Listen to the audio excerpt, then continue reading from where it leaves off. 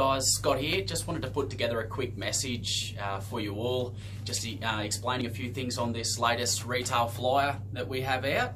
So we've extended the dates till the 13th to be a part of this. Um, it's just a $250 order and uh, you'll see attached in the email uh, the benefits of being part of that. Now we do really need to cut it off on the 13th just because it, it's the last the effective date. But hey, this catalogue wasn't going to be put together this year. We had one coming up at the start of next year.